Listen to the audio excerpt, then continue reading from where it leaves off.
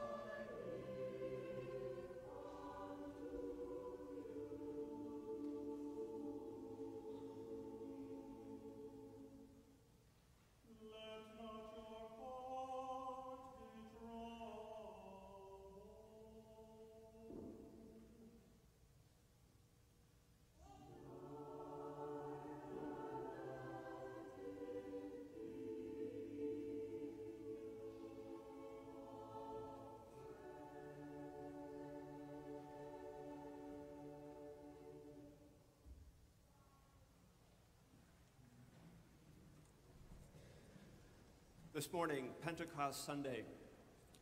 And the scripture lesson has to do with folks in Jerusalem who have come from various places, who have various native languages. But there's a great miracle that all of them begin to hear the preaching in the language with which they are familiar. And what they're really hearing is the language of the Spirit.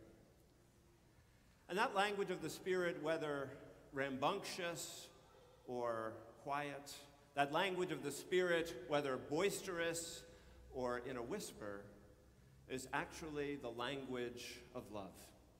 And what we do here week by week is gradually more and more we learn to understand that language of love so that finally, finally, we can begin to learn to speak it ourselves, to speak the language of the Spirit, to speak the language of love. I invite us to sing this morning uh, at 2117 Spirit of God, bright wind.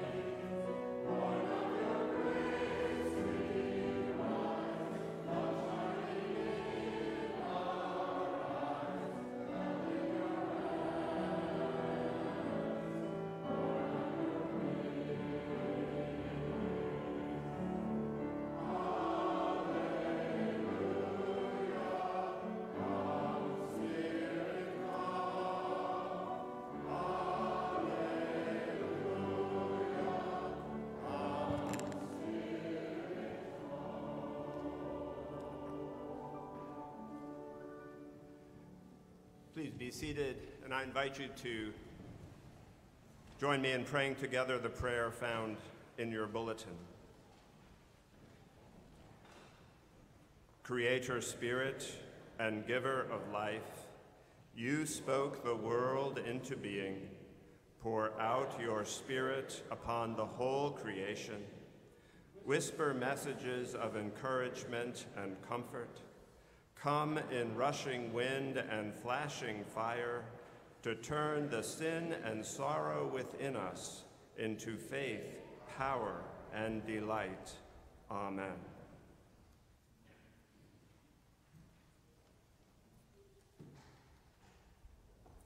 The scripture reading this morning is from the book of Acts.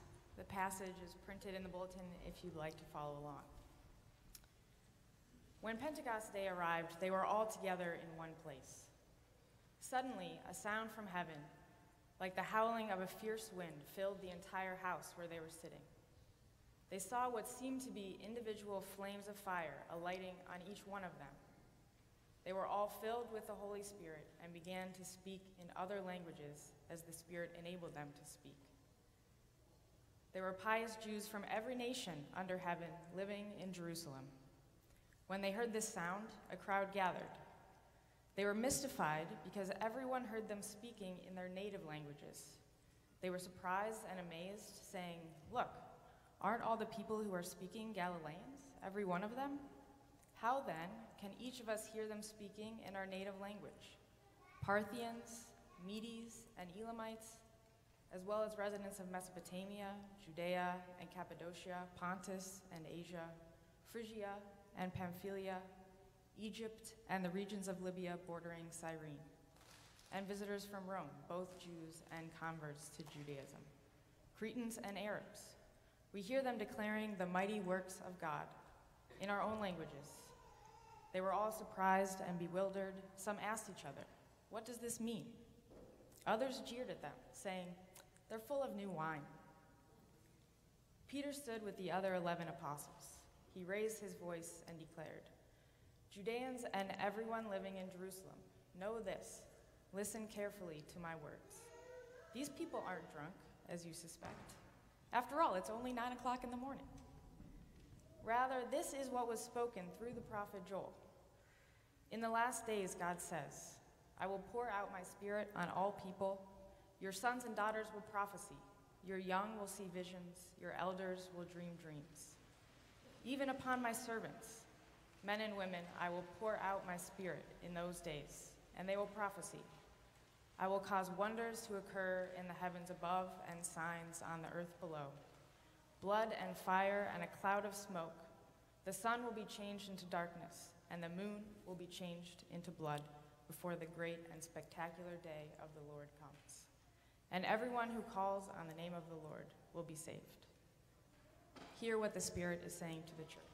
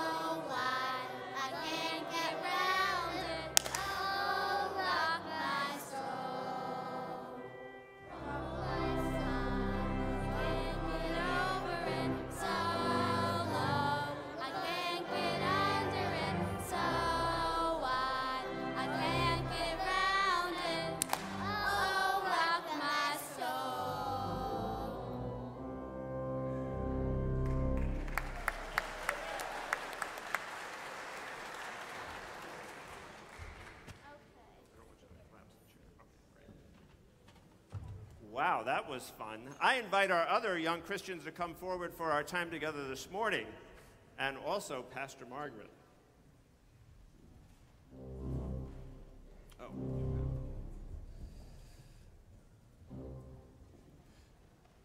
Good morning, good morning. So good to see. I got to find a spot. Good to see you this morning. Good to see you this morning. So, um, Pastor Margaret is here. As I was saying before, she and I worked together for 17 years. Isn't that right, Margaret? 17 long, long years. We were, we were, uh, we did have a lot of fun though together. It was not, it was not hard. It was hard to say goodbye to him, but it wasn't hard to work with him. Most of the time. Do you notice anything about the way Pastor Margaret talks? Who, who notices that? Yeah? Oh, David? Any of you young people notice? Yeah? Yes? She has an accent. Me? No. you have an accent. All of you have an accent. So when, I, when we first started working together, sometimes it was hard for me to uh, quite catch what she was saying. I had to pay attention. I had to pay attention more than I usually have to pay attention, and more than I usually like to pay attention. Yeah, But I often have trouble getting people to pay attention. right, Andy? But uh, the, more, the more we worked together, the easier it was to understand. Because when you work with somebody closely and you're getting along and you're trying to understand them, as she was trying to understand me and I was trying to understand her, the more we could understand. And so finally, by the end, we were almost in this place where we could complete each other's sentences. Um, Well, his, sen- his sentences were always a lot brighter than mine. higher level of intellect. But they always kept getting lost in dependent clauses, and you kind of got, our, got, got us out of them. Um, but she would go to Scotland, and when she would come back, it was then hard to understand her again because she would be more into this whole Scottish accent. Um, but then we would work together. I would pay more attention. She would pay more attention to me. We would work together, and we would be able to understand each other better. Part of what our scripture lesson this morning is about trying to being able to understand each other because of the Spirit. The Spirit helps us work together and cooperate. The Spirit allows us to try to pay better attention to each other, to listen more carefully, to understand each other, because each of us, from each of our own accents, from where we come from, from the kind of people we are, from the kind of things we have experienced, help us to know things that other people need to hear from us in our accent. That's one of the great gifts of God is bringing together all of our accents. Like God brought together all of the parts that we were just singing and made them into one harmonious whole mm-hmm. that was really fun to sing. and really beautiful. It was really beautiful. So let's pray together the prayer that Jesus taught us. Our Father, who art in heaven, hallowed be thy name. Thy kingdom come, thy will be done, on earth as it is in heaven. Give us this day our daily bread, and forgive us our trespasses, as we forgive those who trespass against us. And lead us not into temptation, but deliver us from evil. For thine is the kingdom, and the power, and the glory forever. Amen. Thanks so much for coming up today, and thanks for the music earlier. And now it's time to go to your classes.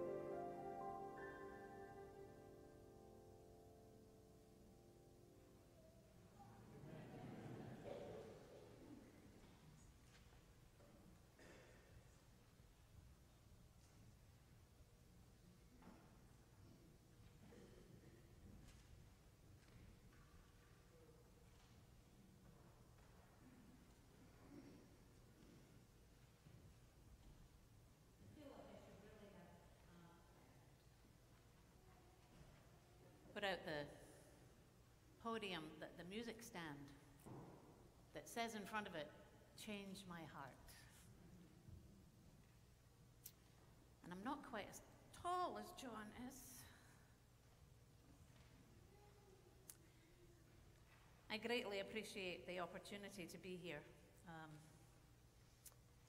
it was probably a bit dangerous for John to let me loose.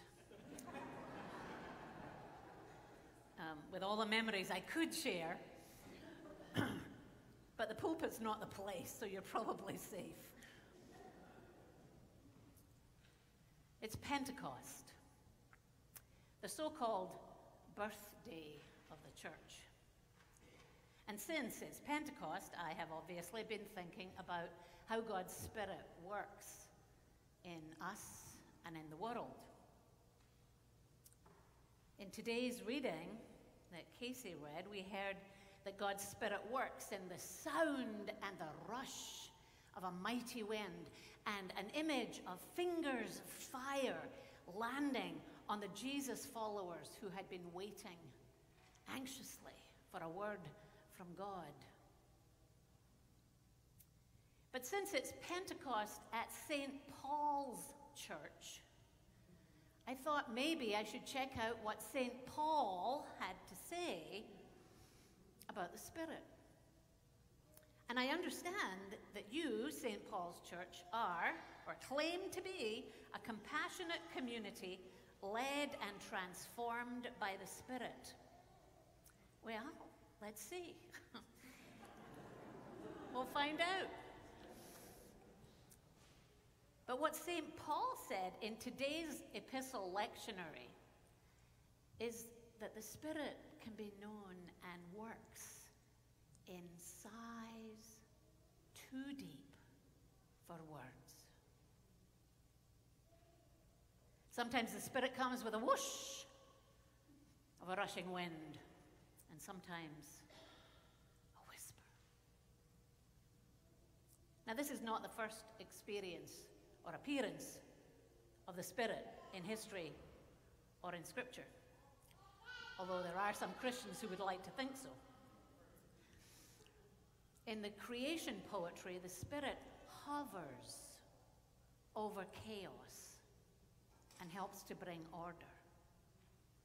Throughout the Old Testament, prophets are filled with the Spirit so that they can proclaim God's word to reclaim God's people. And I thank John for that definition. It's amazing that I actually remembered that after all these years, see? I am teachable, John. The Spirit came upon Mary, and she carried the divine into the world. Jesus saw the Spirit coming down upon him at his baptism, and he was claimed as God's beloved child. And all of that was before this amazing story that Casey read. And evidently, it's not done yet. That same spirit called John McNeil into ministry, and many of us, and all of us, called all of you here. Eventually, that spirit called John McNeil to Fairport, and then, darn it, to St. Paul's. That spirit graces this church with a reconciling heart and an amazing theme statement. That spirit will bring you another pastor in a few weeks. That spirit continues, despite religion's best efforts to thwart it,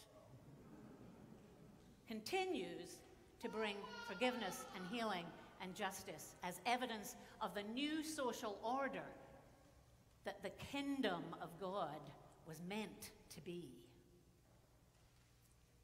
Sometimes a whoosh, sometimes a whisper, sometimes a baby's cry. I hear the whoosh anytime I make the mistake of watching the news. It is a whoosh that cries, enough. Enough selfishness, enough religious extremism, enough patriotism, enough human arrogance, enough abuse of the earth.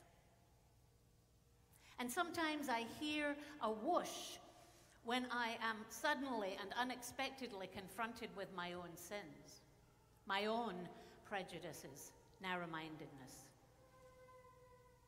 when I abuse relationships or get into harmful habits.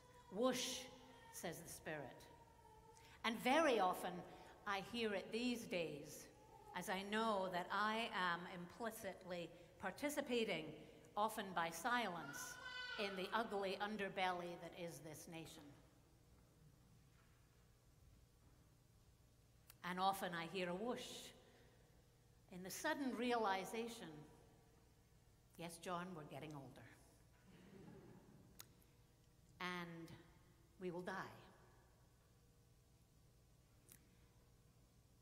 And sometimes I wonder if I'm failing to be all that God dreams for us to be.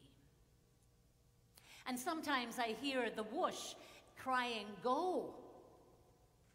Any new insight, any aha can come like a whoosh. A friend recently said to me, The truth hit me like a two by four. Whoosh. Go, says the Spirit. There's still much love and mercy and justice work to be done. Go. If not now, when? If not you, who? Yeah, to our foolish amazement, the Spirit says, You. You. Who, me? Yeah, you. This rushing wind, this fire is for you.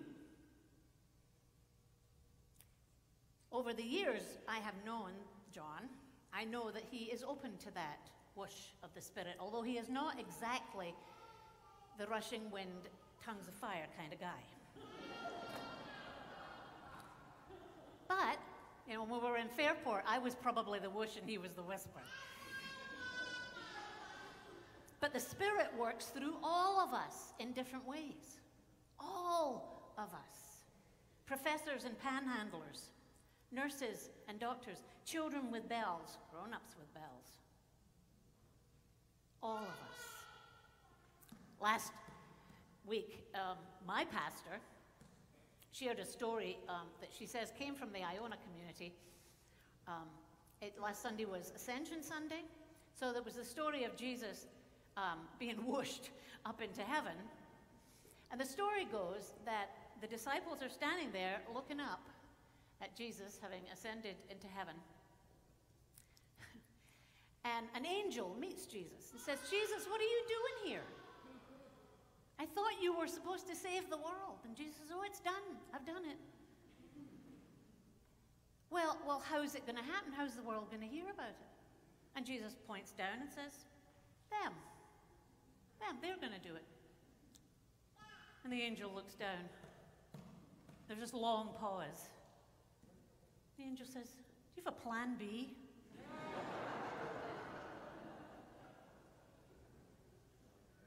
we are Jesus' plan A for the world. We.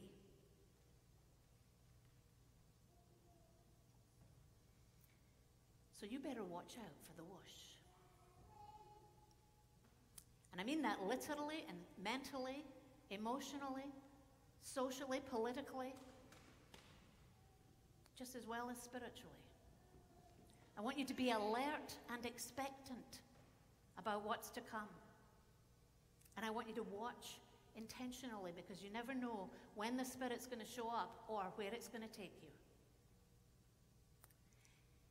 But the Spirit can also come in a whisper, in sighs too deep for words. And we need to listen in for that quieter sound. The slow dawning of a new understanding is a whisper. A deep sigh of grief that opens your body and your soul to the Spirit's calming touch on that unnameable hurt. It's a whisper. That relief when you get something off your chest to a trusted friend. It's a whisper. that yearning in your soul for peace in the world, that's a holy whisper. But that's a whisper that is going to require a whoosh because peace is not going to come just because you have a yearning. We have to be whooshed into peacemaking. But most of us, let's face it, would rather hear the whisper.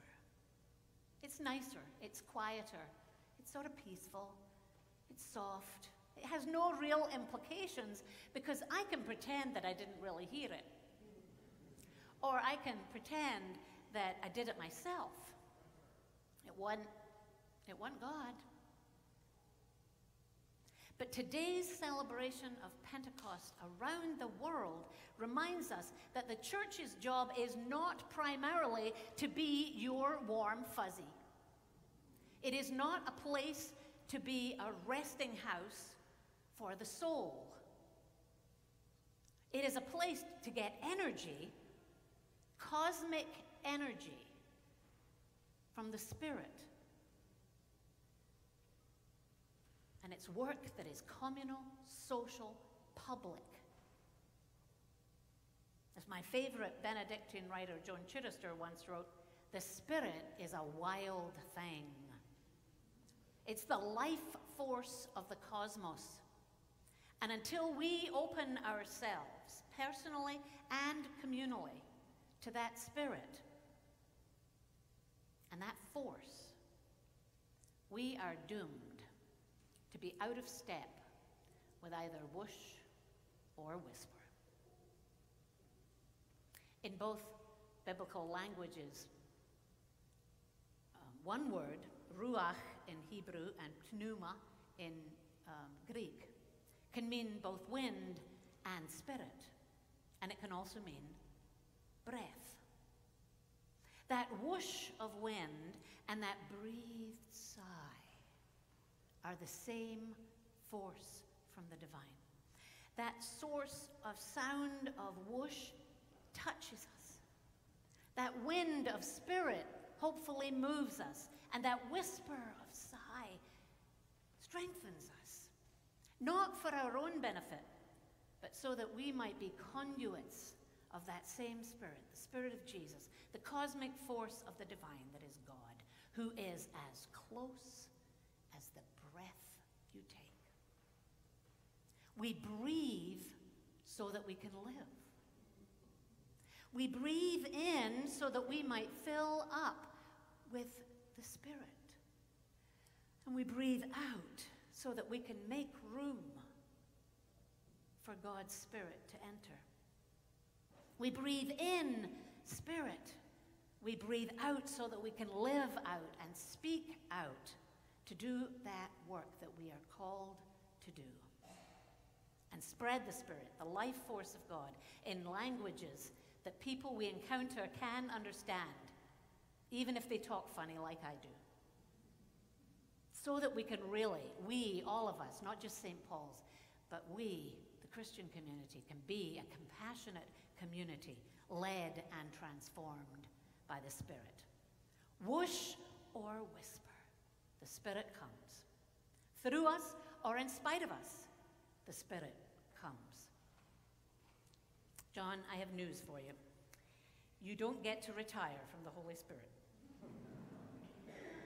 St. Paul's, you either. Letting John go, I know, is a tough loss.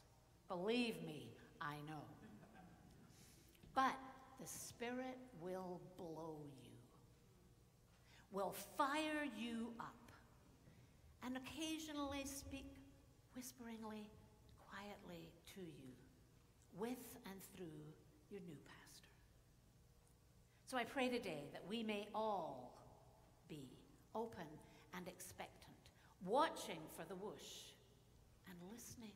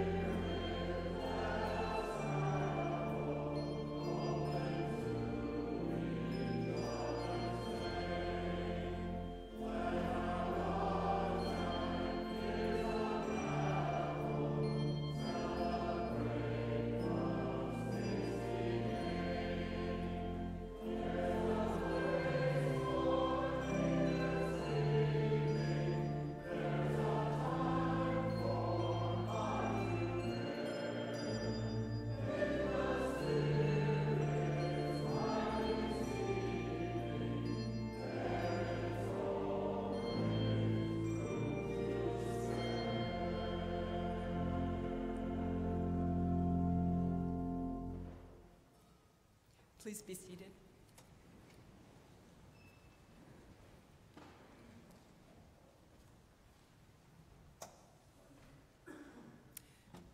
Lord, in your mercy, gracious and loving God, we give thanks for this day when we can come together and celebrate the gift of creation and the presence of your Spirit in our lives. We are especially thankful for this opportunity to celebrate Pastor John's ministry with us, and we're grateful that his family and his friend and former co pastor Margaret Scott could be with us. Bless this time together, we pray, that we may hear anew the language of the Holy Spirit speaking to us and allow your love to flow through us. Free us from our preoccupation with the things that separate us from you and from each other so that we will become instruments of your peace and justice in the world. Lord, in your mercy. Oh God, we give thanks today for opportunities to care for each other in times of joy and sorrow. We are especially mindful of those who are struggling with illness and pain, those who are facing or recovering from surgery, and those whose symptoms have not yet been diagnosed. We pray for Debbie, Dottie, Laverne and Shirley, Mary and Matthew, Nancy, Priscilla, Raymond and his family, for Ruth, Steve, Vera, Walter, for Larry Mayfield, Carolyn Longhouse's brother, who will undergo heart surgery in the coming week, and for Bill and Marianne, who live near St. Paul's and ask for our prayers. Bring whatever form of healing is needed to each of these people and to all those unnamed who are in need. Lift the spirits of those who are discouraged, we pray, and comfort those who grieve. Lord, in your mercy, Oh God, there is much that is deeply troubling in today's world. We see images and hear reports of events that defy comprehension. The killing of Gazans, while nearby the moving of the American embassy to Jerusalem is celebrated.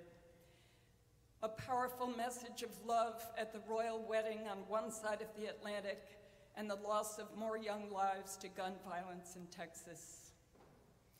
We offer up our cries of grief and outrage in the face of all violence and suffering, and pray that human beings will wake up from their blindness and take action to heal what is broken.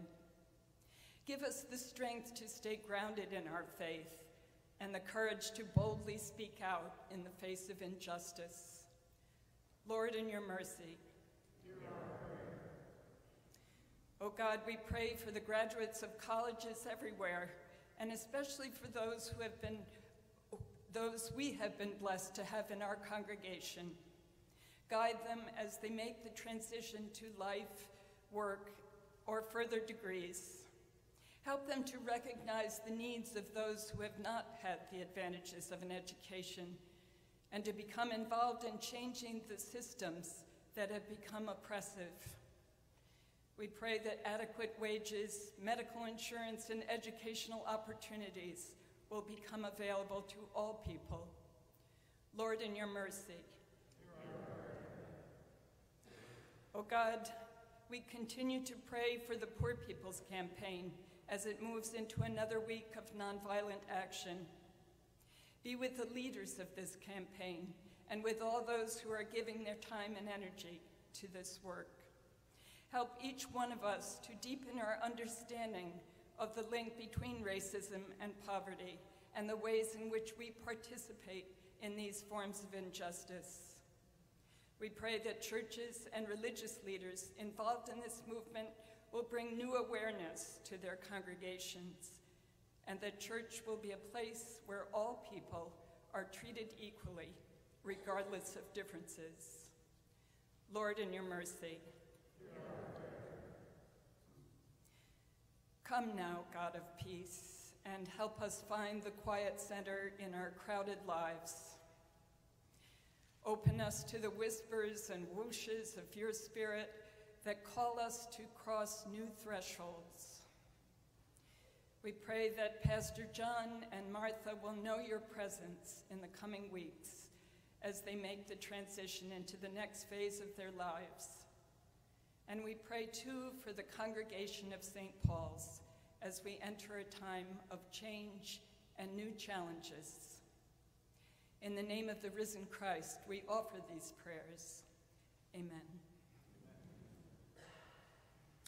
As the ushers come forward for the morning offering, let us offer ourselves, our resources, our visions, and our gifts that we may fully participate in God's work in this world.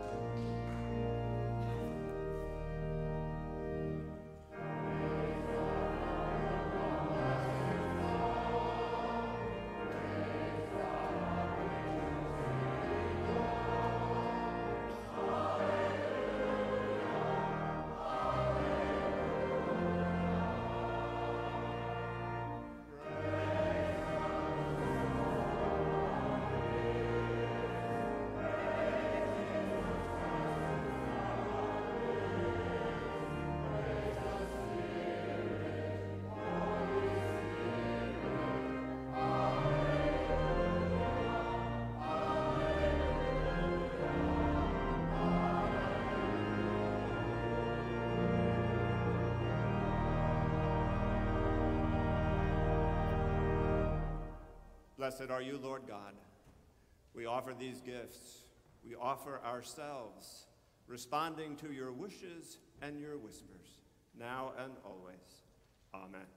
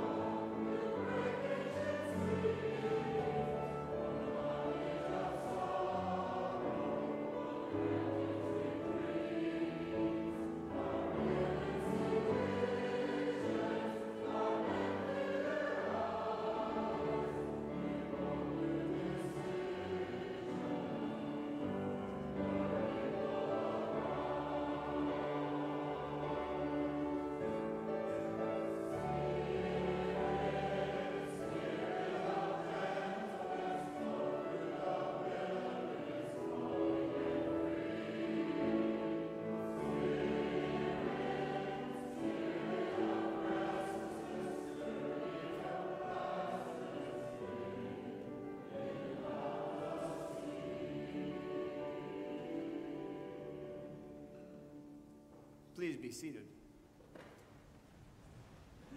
So I'll offer the benediction in a few moments, uh, and then stuff's going to happen. Um, so during the postlude, those of you, I don't want to impose, we don't want to impose on anybody. If you have some place to go, go for it. Um, we're not taking names of those who leave, just feel people have other things. If you'd like to stay for uh, some words and some uh, refreshments, uh, that's, that's great. We'll appreciate that. And I do want to say that uh, Martha and I do have three more weeks here, believe it or not. Next Sunday, the Sunday after, and the Sunday after that. So don't feel like, you know, this is it. Um, plenty of time, maybe not plenty of time, but three weeks anyhow, um, if you want to say something. So uh, we will be prepared to greet those who uh, want to say something today. But if you don't want to say something today, next week is great too. Yeah. So go forth. Go forth with open hearts to be led and transformed by the Spirit. Go forth, attentive to the wishes and the whispers that God offers. Go forth to be Christ's compassionate community dispersed into the world.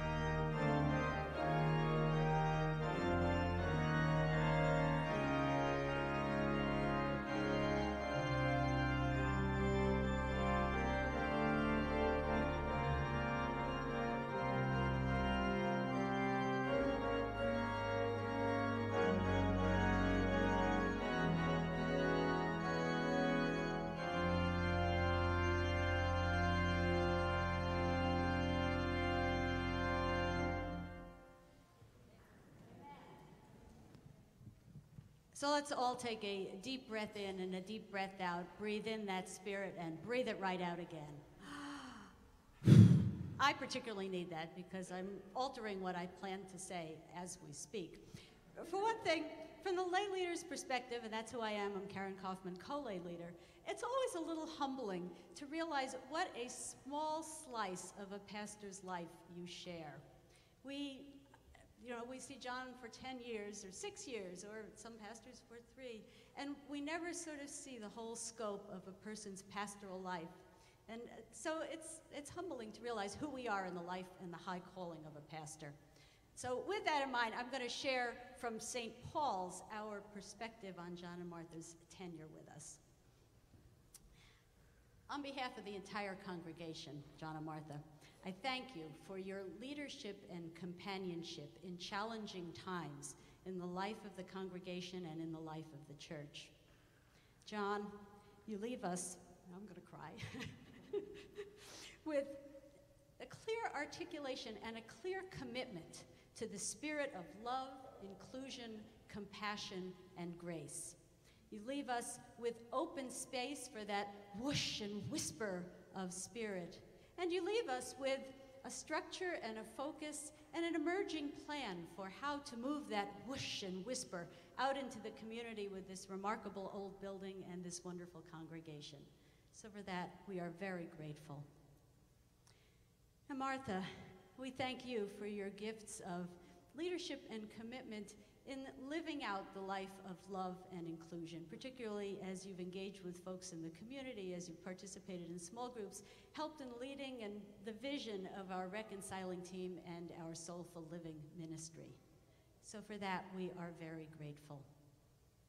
And to all of us, I want to say that as we go forth from this place today, whether to refreshments or to wherever we're going next, I trust that we will go forth in the name of love, but I won't sing, and that we will be carried buoyed on the wings and the whoosh and whisper of the spirit of love, so that we may truly be here at St. Paul's and beyond that compassionate community, led and transformed by the whoosh and whisper of the spirit of love that John has nudged us towards. So thank you all for you and your family especially, for sharing your time with us.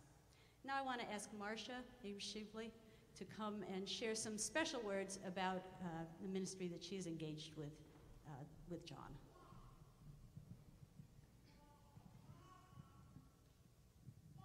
I'm Marcia Eamshively, and um, I don't know some of you because my husband Scott and I attended the early service for nearly 10 years. So I'm speaking from that perspective and also soulful living, uh, this wonderful, energetic entity that has bubbled up out of St. Paul's. I started talking with John about, I'd say about five years ago, coming in a little bit as a left fielder, talking with him about mindfulness and meditation. And I have to say, it was so refreshing how open he was uh, that led to some workshops here uh, on mindfulness and meditation, uh, and, and they were all oversubscribed. And it was really evident that there was a longing by folks for a different type of contemplative experience here at St. Paul's. Um, so just again, just a little bit of history that led to the creation of the meditation loft we worked with Jacqueline, who started helping us think through what is this and what will it be. Um, just name a couple of folks who became a part of a small but mighty leadership team Soulful Living, uh, Debbie Allen, Mark, Mark Hartziker, and I'm not sure if Natalie Scholl is here, but she's been active, along with John and Martha.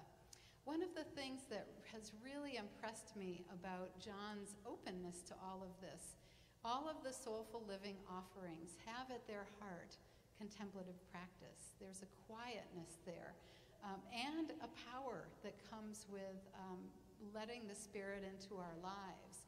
And what I'm so grateful for is the way in which John would so firmly hold the needs and the mission and the purpose of St. Paul's, even as he was acknowledging throughout that there are a lot of people who aren't here that might not come in the traditional doorway of a worship service and yet who are longing to be fueled on this individual and collective journey with the Spirit with one another.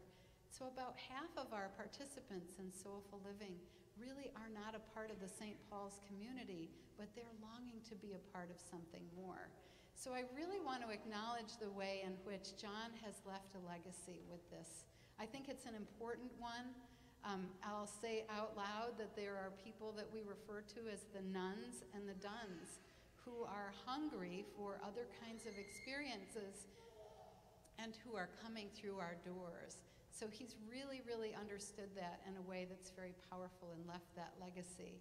Just the last thing I'll say about John for those of you who never experienced uh, that early service, you missed a very different voice. Um, I think that John found a voice. I want to say found his voice, but that might be awfully bold and a little presumptuous. But found a voice in that early service, a quiet, contemplative, and masterful stitching together of a, sur- of a service that I think really deeply connected our heads and our hearts, and perhaps his own. It was a beautiful service. I know that you're retiring. I know that you're ready for a rest. And I hope that you're able to find that voice again someplace down the road. So thank you so much. Thank you. Yes. Now I think Lydia is going to do some more introductions. So, Cole leader. The Thank you all for being here today, and I especially welcome John and Martha's family and invite their three children up to share a few words now. Casey, Emily, and Michael.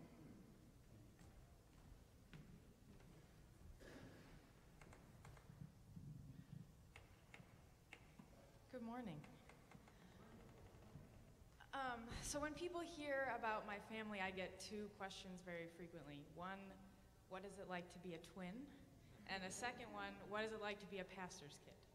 And honestly, these are very irritating questions because I obviously have no idea what it's like to not be either of those things. But in thinking about my dad's retirement, I have been thinking about that last question a bit, not what it's like to be a pastor's kid, but what it's like to be the kid of this particular pastor. And my dad has been a, a huge role model for me as my dad, but also as my pastor, um, and in partnership with my mom and with Margaret in that role too. Um, but but uh, growing up, I uh, identified my dad as having a really special kind of wisdom that I knew that I wanted to grow in as well. Um, and I, I have a couple specific memories of things that made me appreciate that wisdom and really uh, want to, to develop that as I, as I grew up. Um, one, I don't remember the specifics, but when I was maybe 12 or 13, was having some social drama in my circle of friends and remember talking to my dad about that. And I don't remember the specific advice, but just feeling like he had helped me kind of understand how I could think about the way we were all relating to each other in a really generous way and being struck by his insight into teenage girl drama in a way that was really impressive and, and um, so meaningful. And another memory that really stands out is after September 11th, 2001. Uh, I was 14. Um, I think that's probably right. Doesn't matter. Um, and there was a service after the attacks. I don't remember if it was a special service or a regular service. Um, but just the message that my dad had for us in the congregation that day just really helped me um, cope with that time and bring a really, uh, have a kind of hopeful way to think about engaging with that really traumatic time. Um, so I think altogether, uh, besides just wanting to grow in wisdom through the example of my dad, I think he's given me a really invaluable gift of thinking about what wisdom is. And I think the kind of wisdom that my dad models and that has inspired me is wisdom as seeking understanding through love rather than fear. And that's been a huge gift in my life. And also um, appreciating the role of personal study in that. My dad, every morning growing up, would be um, you know, would read and pray and study by himself. Um, sometimes I wonder how much of a gift that was after I've spent what feels like a lifetime completing my PhD. Um, but that's another gift that's been, been so meaningful. So thank you, Dad.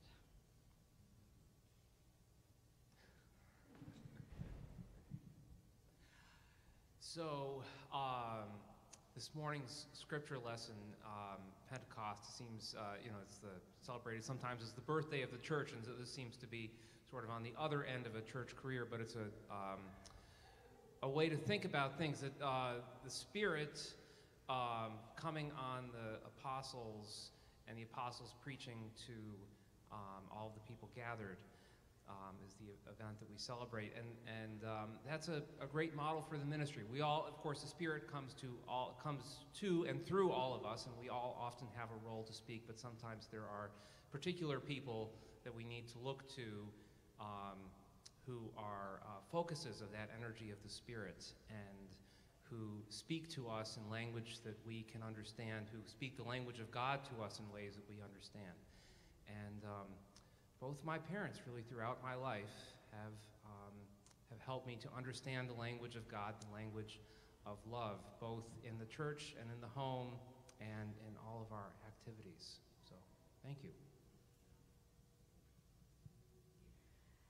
So, I was thinking too about being asked about what it's like to be a pastor's kid, and especially now that I have gone into the ministry, I I always feel a little weird about that question because I think sometimes there's an assumption of a certain kind of approach that a pastor takes to their own kids, which I did not, I don't think we experienced. And that's something that I have really appreciated in the sense that um, I, I think that maybe I will get this right that my dad says his favorite philosopher is Jesus, followed by Socrates. And I think that both in the church and in raising us, my dad and my mom too, really cultivated an ex- a sense of exploration and support of our own discovery of our spirituality and our personalities and beliefs. And I think that I see that in his leadership in the congregations too, to kind of create a space for people to explore their own sense of meaning and identity. And so I sort of feel like my own path into ministry wasn't like I was following my dad's trajectory because that's not how he leads. But of course, that shaped how I got to be where I am in my own spirituality, which I would just, they've already articulated it very well. Um, I think the other thing that stands out uh, is I, my, both my parents have a big commitment to their faith and the church. And it was sort of a challenge for me at times, my dad's commitment to the Methodist church. Um, but I also realized that I really admire the kind of integrity that he felt in his uh, vows as an ordained person and real sense of being part of something bigger. Um, and also have really appreciated, I think, a lot too in his time here, uh, kind of growing in a greater uh, critique of the church in a way, and really kind of growing in that expression of um, what that means to maintain that commitment and that critique at the same time. So I'm very excited for them to go on to new things and get to go to church together, sit in the pew next to each other, which I think they will appreciate, but also know that both of them will bring that ministry and leadership to many other places.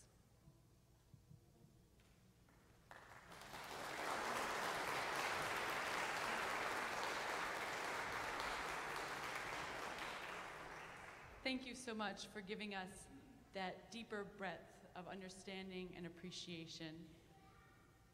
Now we invite the head of Staff Parish Relations Committee, Pam Lillard, to come up with a bit of a gift and presentation and a symbol of our love and appreciation.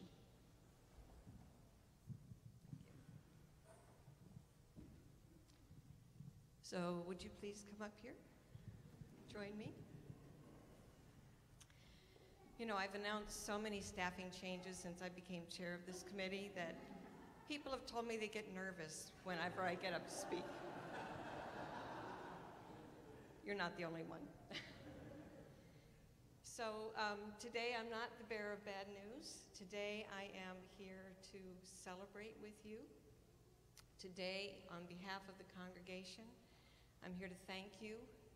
Thank you, John, for your many years of service to the United Methodist Church.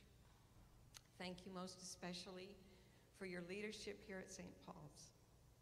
And Martha, thank you so much for sharing John with us and with all the other congregations where he has served. Thank you for all the evenings and weekends when he's been at church instead of at home with you and your family. We really appreciate it. We wish you both a glorious retirement filled with enrichment and new adventures.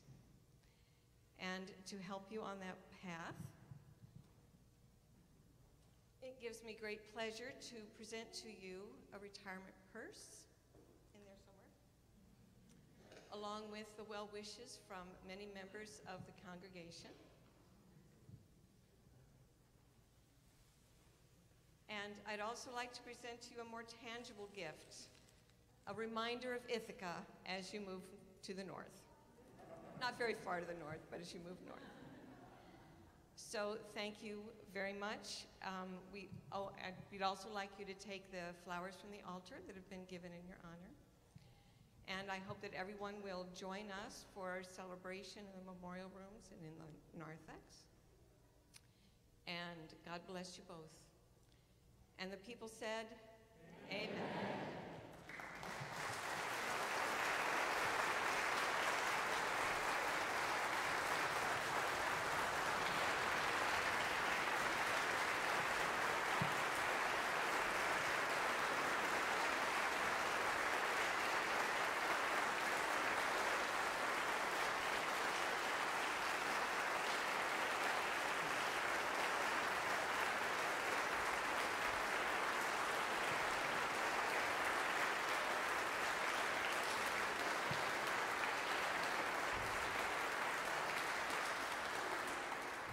Thank you.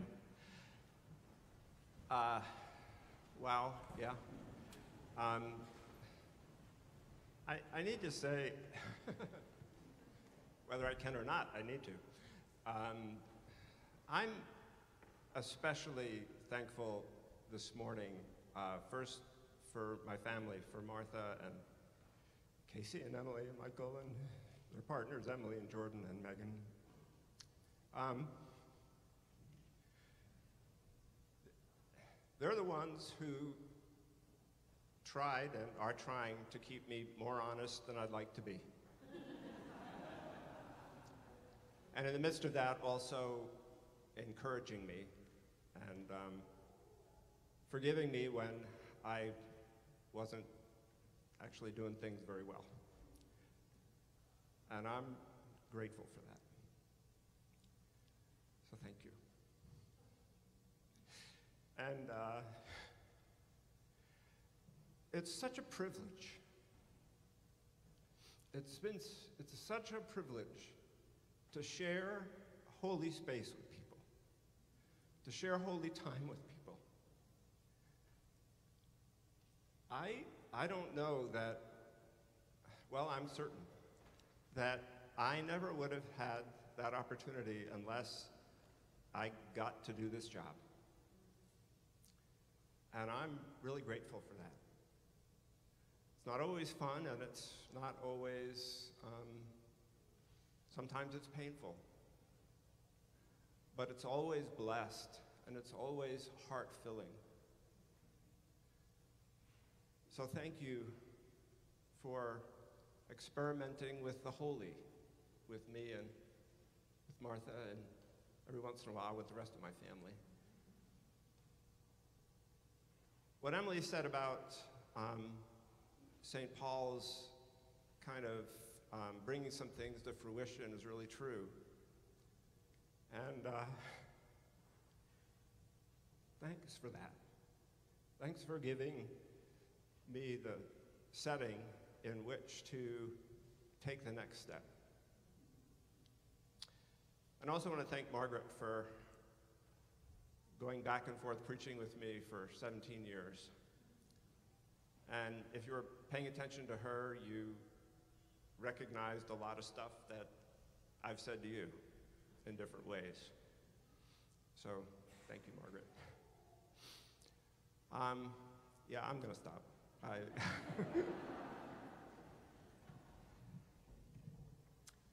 I wasn't sure I was going to speak this morning, and I'll try to be brief, but um, I just want to echo some of your thoughts. Um, I'm certainly grateful to you because uh, when we first met, we were atheists, the two of us. We are uh, just confirmed atheists.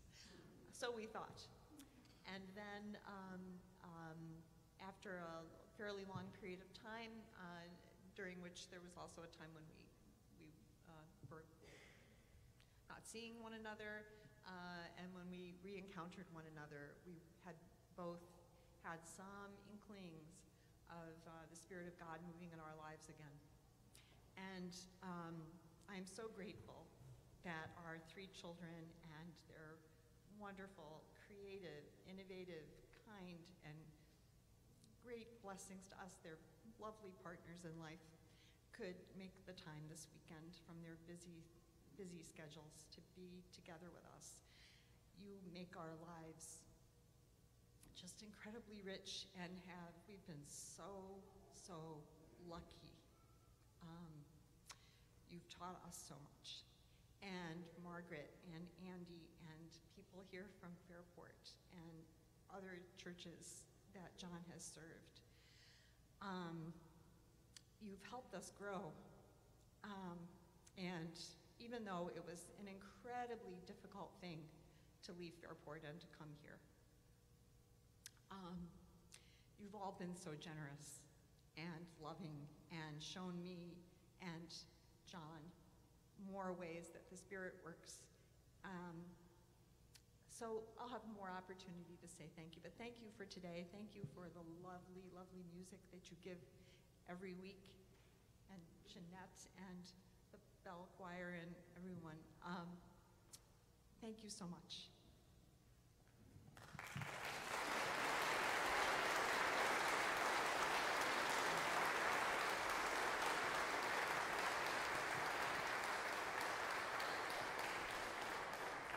Thank you. And now let us go forth, enjoy each other and the Spirit among us in giving thanks and celebration. Amen.